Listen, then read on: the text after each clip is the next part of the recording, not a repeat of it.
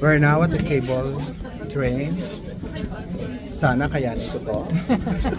Pasok lahat. I hope I can make it. We are now on the second round of it. What do you say? Sana yes, uh, I will be uh, on top 5.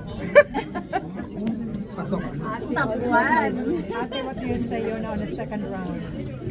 So fantastic.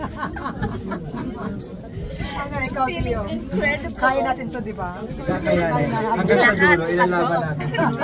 Dali natin ang bandera sa Pilipinas. True. Alrighty, everybody, doors are now closing. Stand clear of. There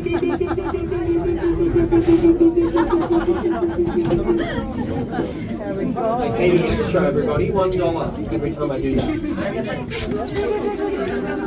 Ayan ang pinaka pinakalupa niya.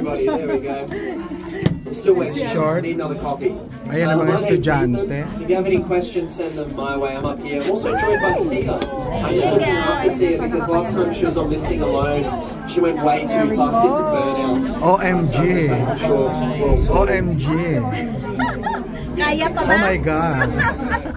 Eto na siya. This is it.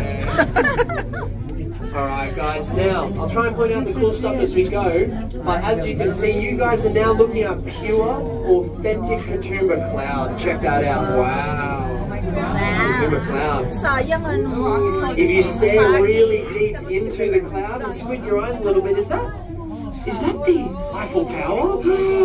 wow. Now the three sisters Sayang do live over there. Maano They're just siya. taking a break today. Their crew legs are Blue going off Mountain. today. Hindi ko na Um, so hopefully it. we um, see Ano Now it's a gray mountain. Ano kasi may Now, a fog. bit of history Don't worry, we'll cable come back car here. guys, if you're interested. so this one here is actually the most recent addition to Scenic World.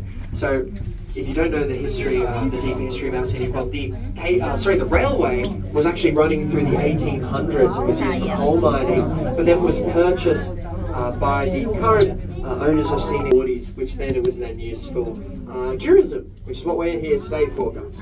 Uh, then the Scenic Skyway was set up in the 1950s, so that's been running for about 70 years. This one here was uh, planned to be running.